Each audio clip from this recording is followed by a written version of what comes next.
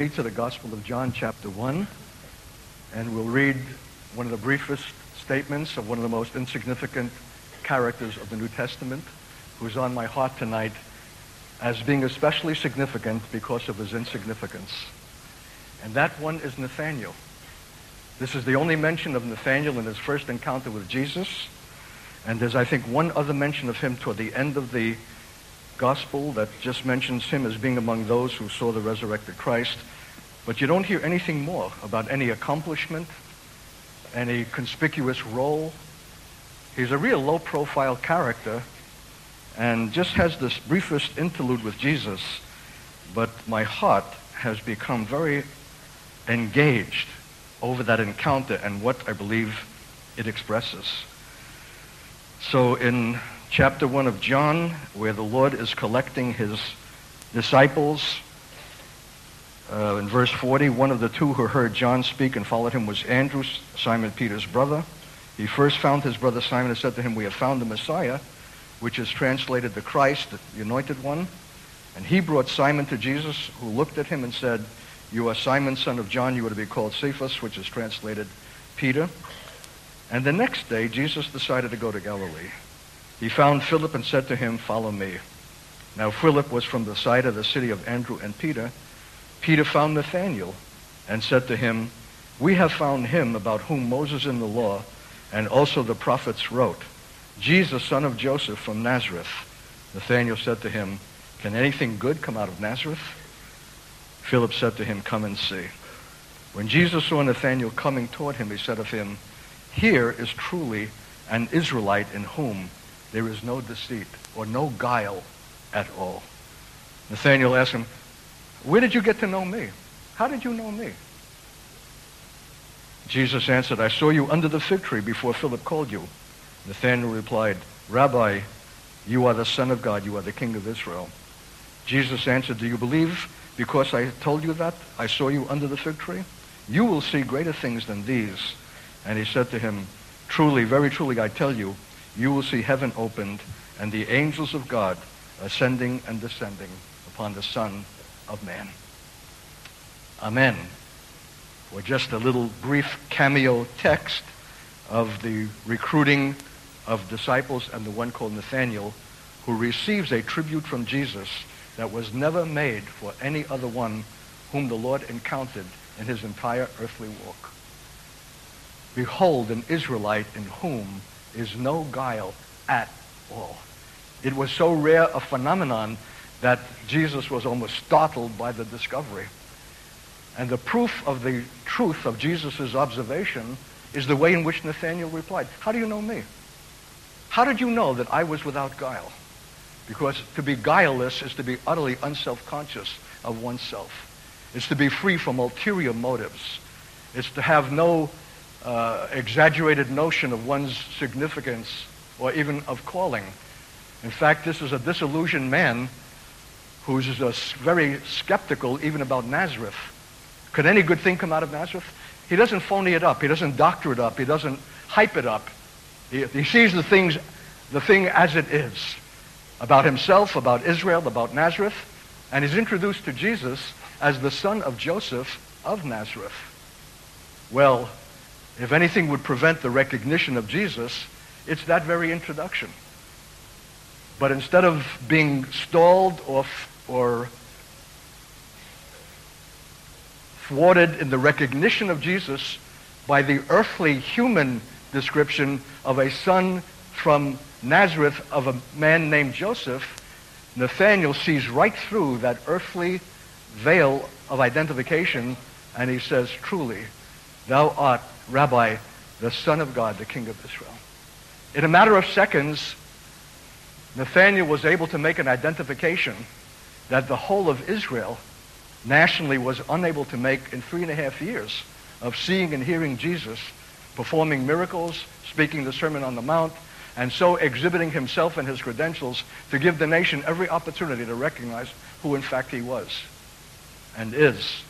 And here's a man without seeing any miracle, just and being introduced to Jesus from the earthly plane, sees through it to make the ultimate identification which Israel was unable to make and to this day has not yet made.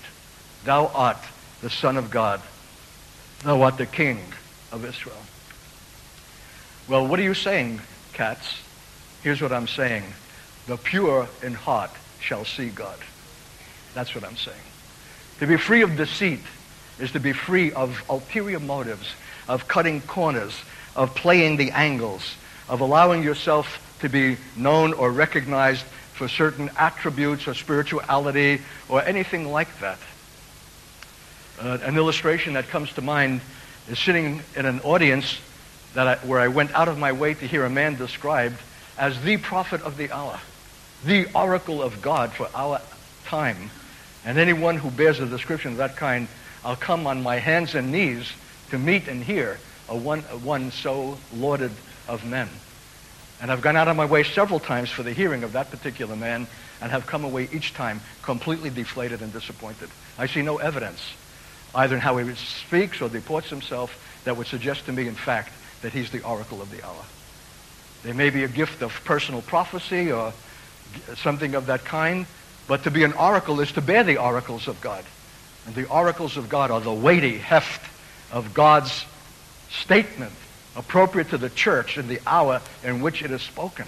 Not just a homily out of Scripture that anyone could speak in order to get the word out of the way and get to the thing for which people have come to hear personal prophecy. And I remember this particular occasion where the MC really did a job of introduction about the oracle of the hour and, and God's prophet and blah, and I thought, that man ought to get up and, and, and, and put a halt on that and say, listen, I appreciate your enthusiasm, but I have to say that I'm not what you're describing. I can't allow that kind of remark to be made about me. It's simply not so. And for me to be silent and allow those remarks to be made is to affirm a lie, if that's not in fact my authentic calling.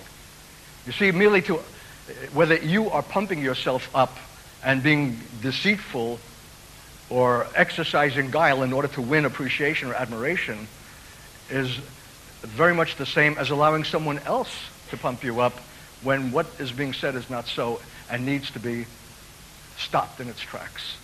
We have to be jealous for the truth. And to be free of guile is to be sensitive to the issues of truth, even about Nazareth. And Jesus admired what he saw in this man. The Lord spoke, Sermon on the Mount, Blessed are the pure in heart, for they shall see God. And here's the very instance where a man who was pure of heart was able to see through the barrier of flesh and natural identification God. The issue of seeing is the issue of purity of heart.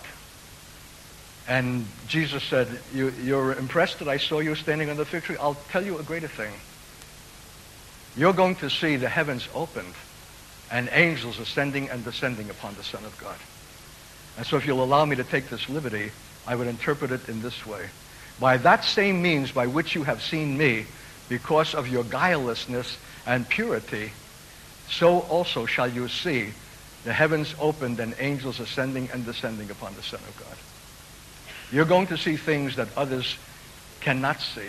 You're going to catch a glimpse of the consummation of the age. You're going to understand the glorification of the church, that, that the eternal reward of obedience in this earth is not plucking a guitar on a cloud, a, a harp, but an involvement in the kingdom of God. We're receiving a glorified body, not just to save us from the ills of old age, but in order to ascend and descend, to move from one realm of the heavenly to the earthly in cooperation and participation with the kingdom dynamics of God as his rule goes forth out of a redeemed Zion and out to the earth.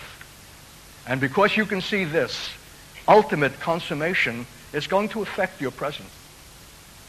Because you can catch a glimpse and see what, what is clouded for other men, because they're, they're, they're, they have a prism that is clouded over with personal ambition, even for aspiring ministry or whatever, because you're free from that, because your heart is pure, because there's no guile in you, no deceit, no cutting of corners, no angles, you're not playing anything, you're going to see God and the things of God. And that seeing of things that are eternal and millennial and glorious has got to affect the present. In fact, it may well be the very enablement to bear whatever the present brings, even if it means opposition, persecution, martyrdom, and death. That's what it meant for Stephen, who was the only other one that I know in the New Testament who, like Nathaniel, saw the heavens opened. He was also a man without guile. His face shone like an angel.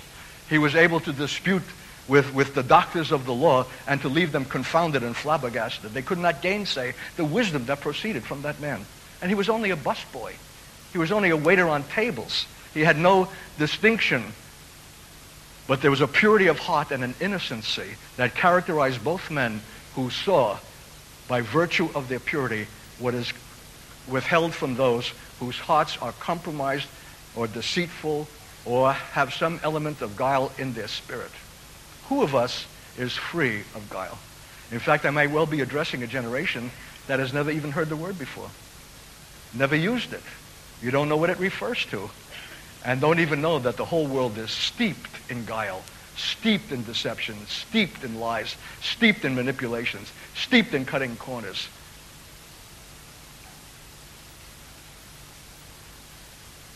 I once had to reprimand a young Christian girl on a bus. We were touring somewhere, I forgot where it was, who I felt was adjusting something on the rack in the bus, her clothing or her possessions, but in that posture, all eyes were upon her, all male eyes, because it revealed contours of a kind that would otherwise have been concealed. I sensed in my spirit that she found an occasion to adjust something on the rack that would show her bodily to advantage to men who would pant. That's guile. That's an illustration of guile.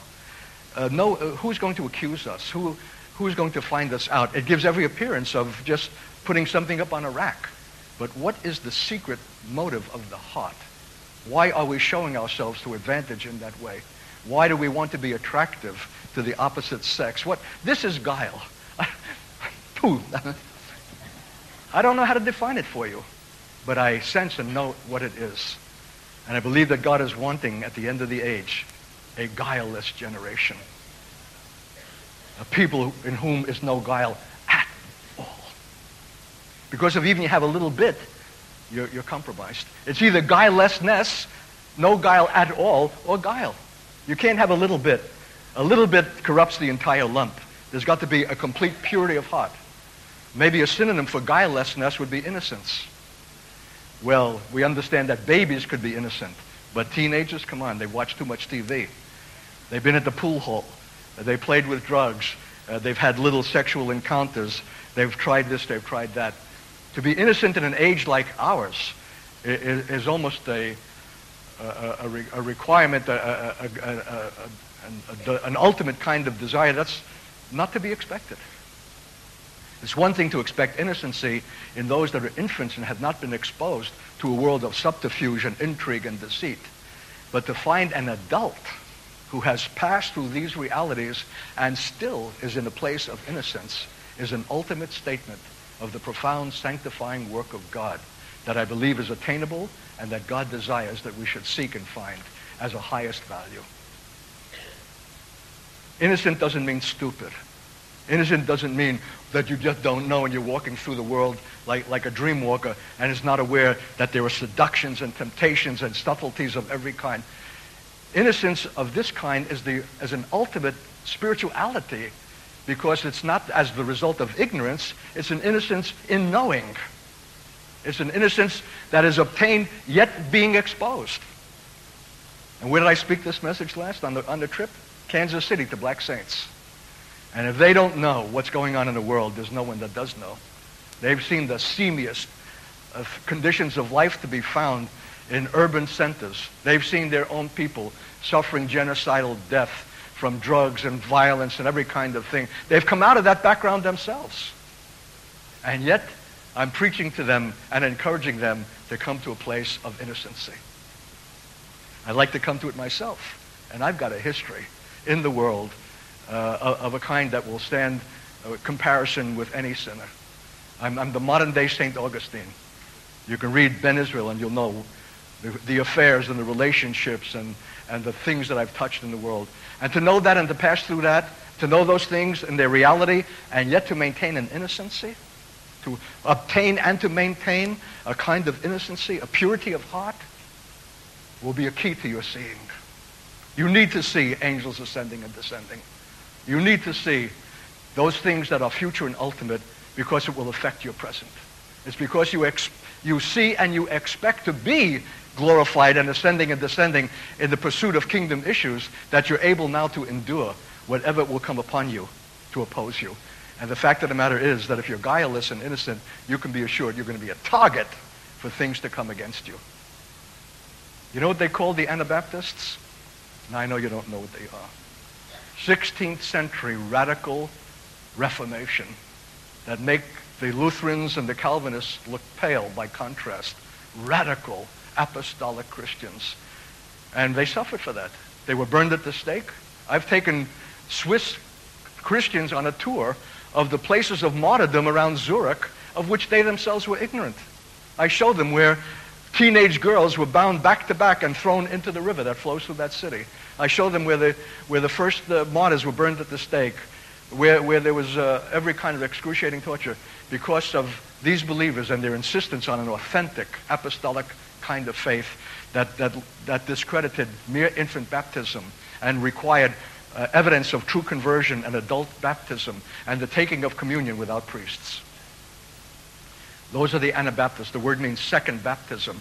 It was a derisive term in the same way that the word Christian first came as a pejorative term of derision, not a compliment. You know what the Anabaptists were called? In German, die Stille im Lande, the quiet ones in the earth. Maybe I'm getting old. You can pray for me. I'm getting soft now. I'm losing my sharp edge. I'm not the vigorous, uh, fearless, uh, bombastic man who goes where angels fear to tread. And something is, uh, is growing uh, with my age, a kind of disposition to appreciate what I probably before would either have ignored or scorned. Innocency, purity of heart, guilelessness, the stille im Lande, the quiet ones. That quiet is a spiritual statement. And if you do not appreciate quiet and do not appreciate silence, what then will be the quality of what issues from you when you do speak? Anyone who has a prophetic call avoids being drawn into superfluous conversations. I told some people at the lunch table today after the meeting who expected that I would be as brilliant at the lunch table as I was at the pulpit. Forget it. I said, I'm a dull dud. I'm a nothing. I'm not good company. I don't make easy conversation. I keep my mouth shut until the Lord opens it. I don't like to be given to much speaking. I appreciate silence because I appreciate words.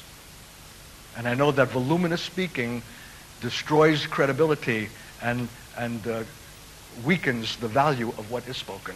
It's something like inflation.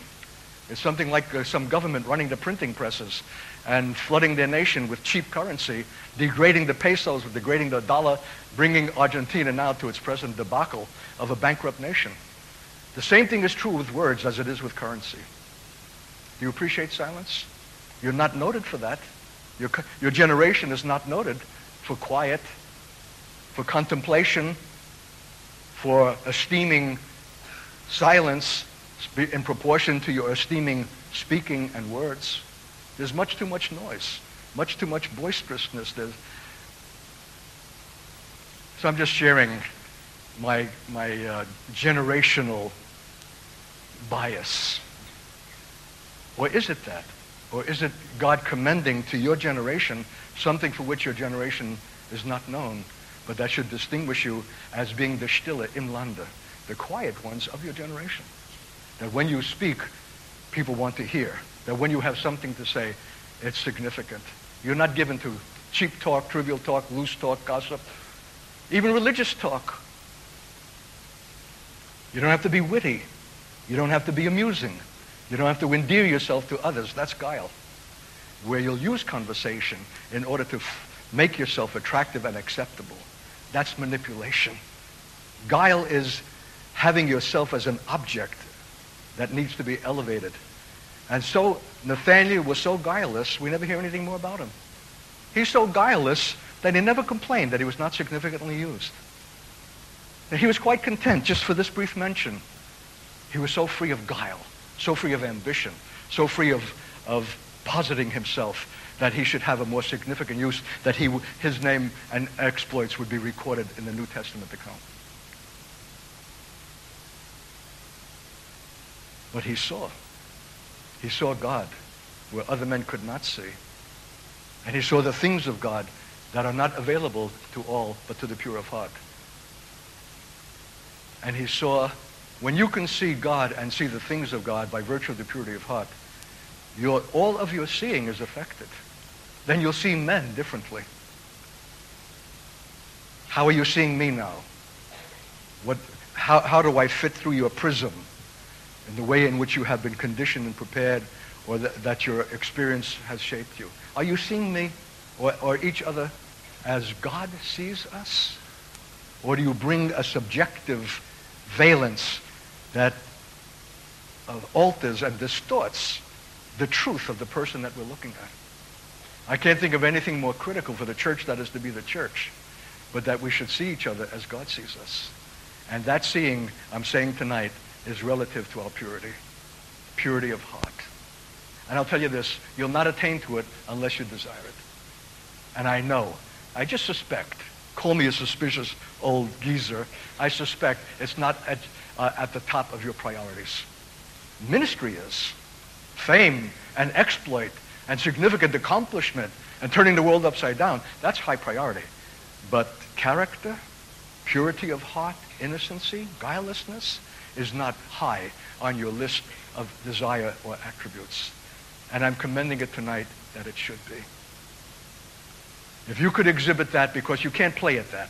You can't perform that. Uh, it's not learning a new gimmick. It's coming into divine character of the kind that Jesus himself was. It took one to know one. Jesus recognized Nathaniel right away. Nathaniel recognized Jesus. They were both of the same kind. They were pure of heart.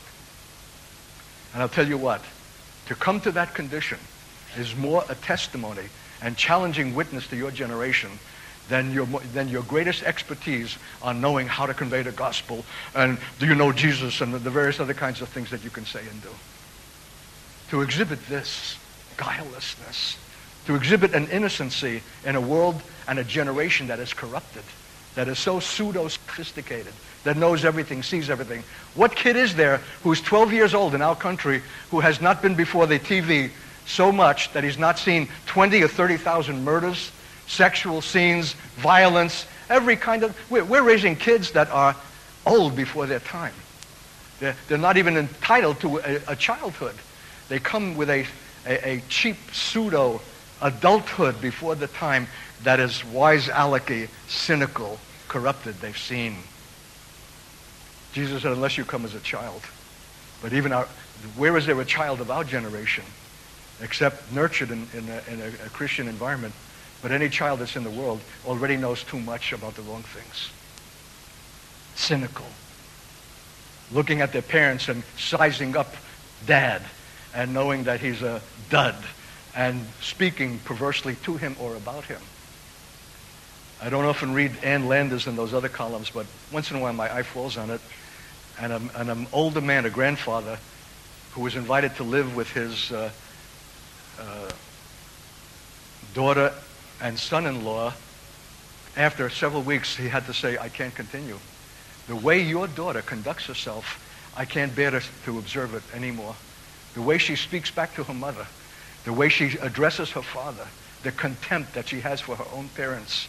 She's uncontrollable, fierce, ferocious, antagonistic child. He said, I, have got to leave. I, I would have loved to have stayed with my own children, but I can't bear to see that. He's a man of an older generation when children were seen and not heard. Now are they ever heard? And here, and what do, what do they have to say? Vile language to their own parents. So where do you find a child that's a child? Pure.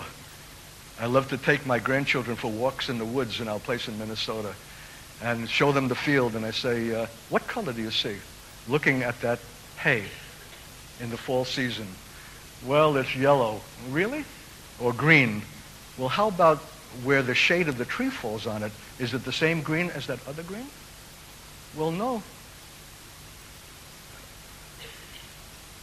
It's different. How would you describe it? I love to speak to them and raise questions that require them to see what would otherwise not be observed. The subtlety of things, the gradation of things, shadow, color, texture. It's God's creation. Uh, I want to bring them to a place to give them the praise for the, the beauty that is yet to be seen even in fallen creation. Seeing needs to be nurtured, cultivated. And the pure of heart shall see God, shall see the things of God, shall see the people of God, and in the end, they shall see themselves differently if they have a purity of heart. Probably one of the greatest afflictions for Christians is their own self-condemnation, their own disappointment, their kicking of themselves, their failure to live up to their own expectations. They're seeing themselves through jaundiced eyes. They're not seeing themselves as God sees them. Purity of heart affects all seeing. It opens the heavens. And so I'll just close with uh, that same statement about Stephen in Acts 7. So guileless that when he's brought to a place of confrontation with his own Jewish kinsmen, instead of playing it safe and being politic in what he would say so as not to antagonize them, or maybe to be more gentle in his critique, he just pulls out the stops. He just gives them an entire survey of the history of Israel and says, as your fathers did, so do you also. You do always grieve the Holy Spirit of God. And if a man talks like that, he's going to catch it. So why didn't he play it safe? Because he's without guile. A man who is guileless does not figure the angles of what the consequence will be for his speaking. He simply speaks what God gives him and, and lets the, the, the, the consequence fall of itself. That's guileless. And in this case, it, it cost him his life. When they heard these things, they became enraged, it says in Acts 7.54, ground their teeth at Stephen. There's something about a man like that that the world cannot abide. Why did they leave those Anabaptists alone, of whom today we have the Mennonites, the, um, the Hutterites, a few of the ites that are the little left over the survivors of the 16th century reform movement that were plagued, they were pursued, they were ousted, they were moved from country to country, uh, they, they were stripped of their possessions, they were tormented. I, I just came from Innsbruck, Austria, to the place where Jacob Hutter, the apostolic father of the Hutterite movement, who was only a hatter, he was a tradesman, was burned at the stake under the golden dach, the roof, where the king and the high priesthood of the Catholic Church and other public officials gloated and delighted watching this man being burned alive, who was already tortured for two months.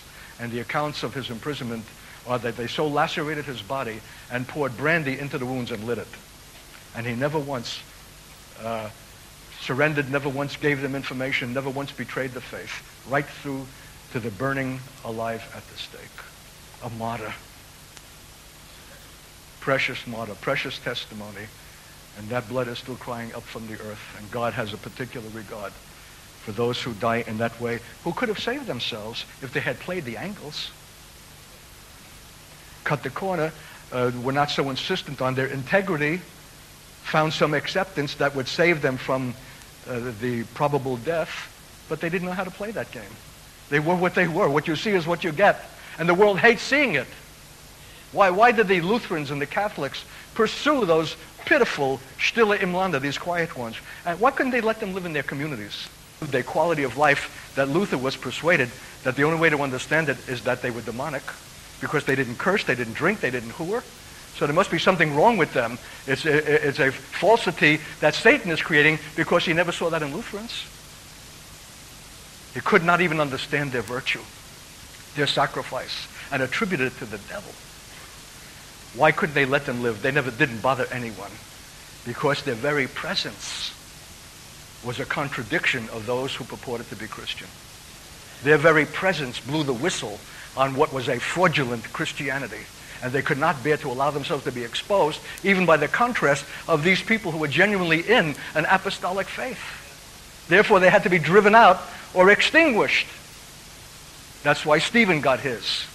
I'm surprised that Nathaniel, well, I'm sure that he uh, also suffered a, a violent death for his own end. Because anyone who lives in innocency, in the guilelessness of God, in the transparency that ought to characterize the church that is the church, is going to invite and provoke antagonism against them. The world can't bear to see that demonstration because it's the statement of very God and his character. How do you obtain purity of heart like that, Art? Well, there are a few clues in Psalm 32 that was brought to our attention in a community discussion. I hope that you're reading the Psalms every day in your morning devotional time, where it begins, Happy are those whose transgression is forgiven, whose sin is covered. Happy or blessed. Blessed are those to whom the Lord imputes no iniquity, and in whose spirit there is no guile. Dum, da dum, dum. Hey, how did that get in there? It's a blessed condition, saints, to be guileless. It's a blessed condition to have your iniquity removed and covered. You know how that psalm ends? Many are the torments of the wicked, but steadfast love surrounds those who trust in the Lord. Be glad in the Lord and rejoice, O righteous, and shout for joy, all you upright in heart. Not shout for joy because you've been primed or pumped by an atmosphere or an environment or a worshipful thing that, that buoys you up, but leap for joy because of your righteousness. I don't know how to say this. Uh, this could be my last night. I'm willing that it, it should. But I want to say that there's an enjoyment and a delight in being clean through the cookie, through and through, that is, that is inexpressible. There's something about purity of heart and innocence and having your transgressions forgiven and the deceit removed from your spirit that just makes that, that joy rises up. Joy is the consequence of righteousness. And it's a joy that few of us have experienced. So long as there's a little leaven in the lump, we'll have to turn the amplifiers up to produce a comparable kind of seeming joy. But when the, when the time is over, we sag back again into the what is the truth of our condition. I'm saying, according to the Word of God, that there's a joy that we ought to seek, and once we taste it, it will be the greatest incentive to maintain righteousness before God. I double dare you to define what righteousness is. Take a stab at, at writing two or three sentences. What is righteousness? Jesus was the honored son who hated iniquity and loved righteousness. Have you ever drooled over righteousness? Have you ever panted over righteousness? Have you ever felt the moisture in your mouth as the word uh, is expressed or mentioned or cited? Do you love righteousness? Do you know what it is? If you bumped into it, would you recognize it? Whatever it is, it's real, but rare. And one of the evidences of those who know it, who are upright in heart, whose hearts are without deceit, without calculation, without design, without chicanery, without manipulation, is joy. Continual and constantly. Not with regard to conditions, but something that issues when you're walking blamelessly before the Lord and with a conscience undefiled before God and before men.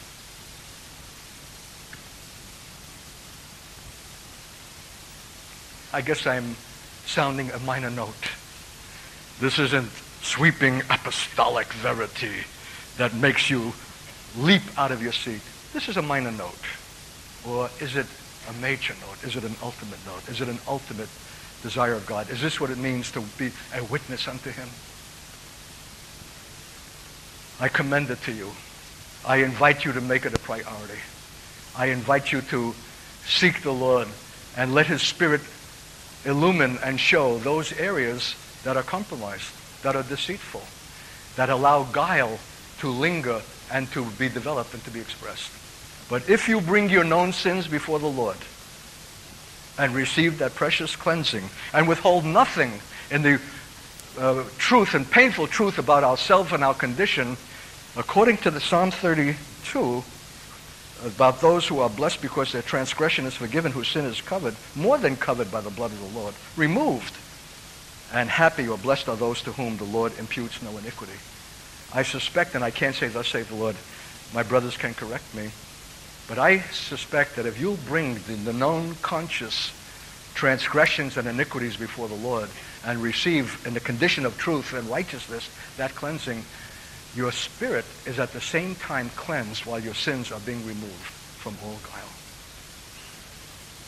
That, that the blood searches out and removes the subtlety of guile in the spirit that is so subtle we can't even identify it. So to stay clean through the cookie is to avail ourselves of the blood, is to be utterly truthful in all that we know about our own transgressions or failure or sin that we bring before God and before men in confessing our faults one to another.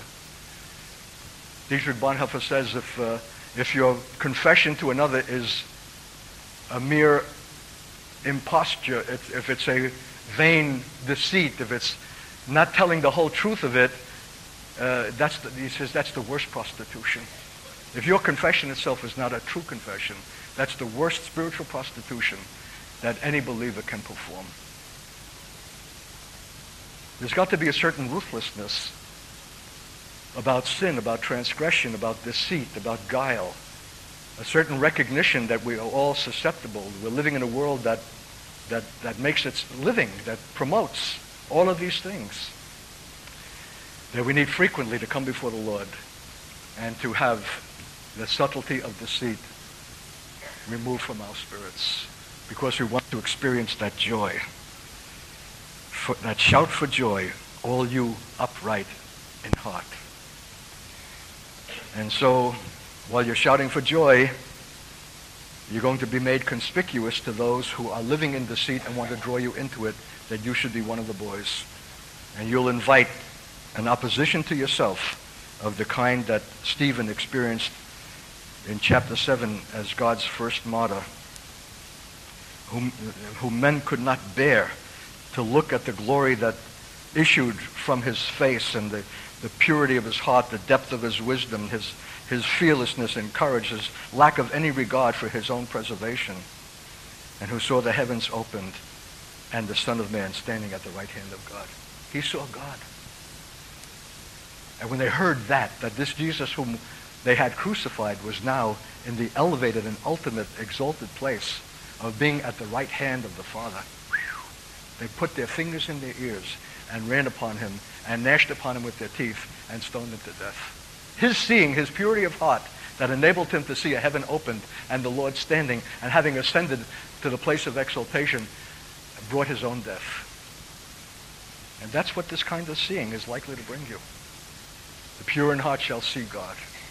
The pure in heart shall see the things about God. The pure in heart shall see the people of God. The pure in heart shall see themselves as God sees them. The pure of heart shall see.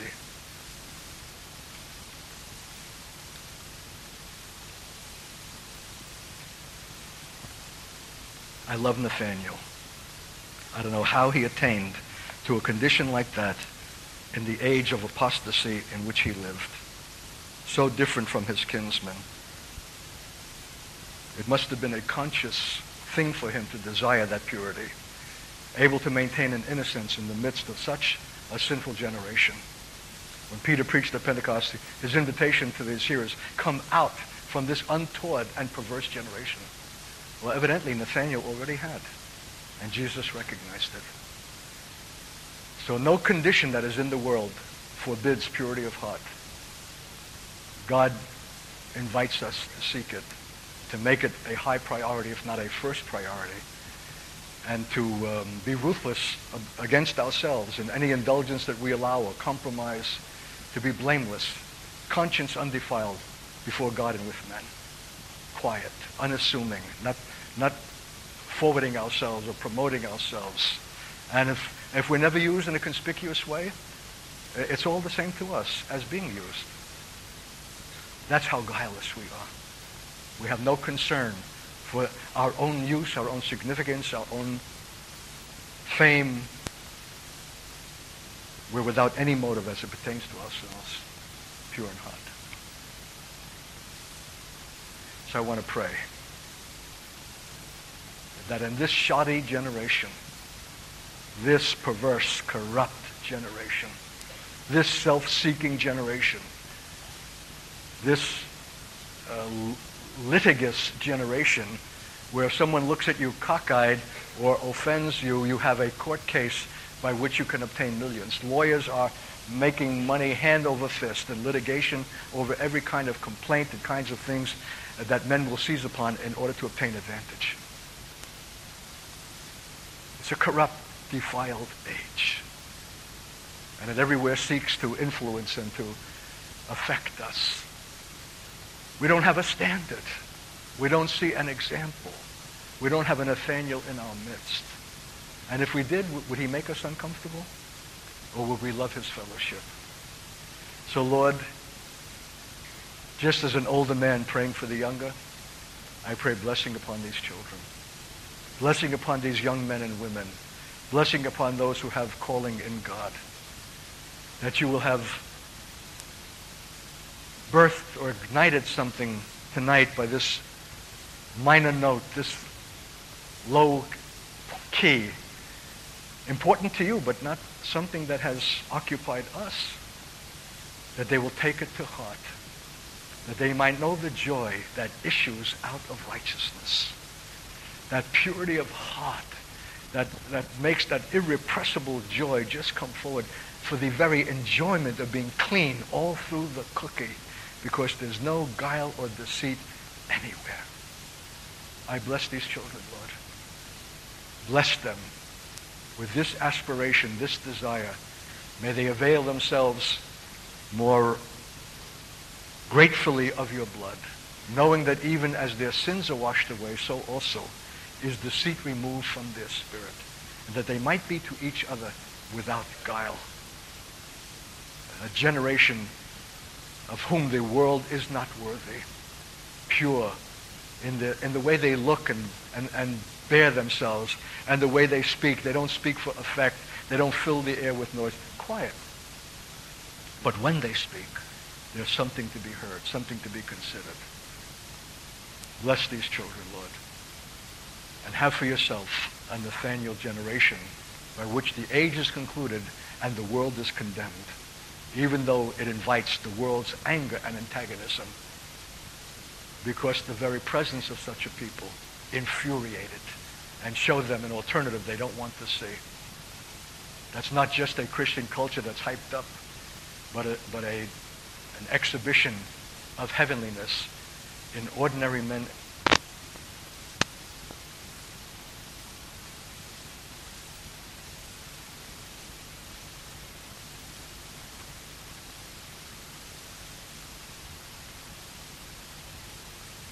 who walk before them and through them without fear, without self-concern. They're guileless. Thank you, Lord, for such privilege, such opportunity. Help us, my God, to obtain that joy and to maintain it in a fellowship, my God, that will receive correction, admonition, speaking the truth in love, welcoming correction that comes when someone will say, you know that I've noticed uh, your preaching uh, is getting professional. You're, you're, you're, you're, using certain stylistic devices. Your voice is no longer natural. Uh, you, you sound like a pro. You're, you're, you're speaking so as to cause effect of a certain kind. It's calculating. It's guile. You're not trusting the Word of God by the Spirit of God. You're seeking to bring an effect. It's a manipulation. It's a deceit. It's contrary to the innocency and guilelessness that God would have especially in the sons and daughters of God who serve him. Help us to see that and, and to flee from that, Lord, we pray. It's too costly a thing. In Jesus' name, bless us.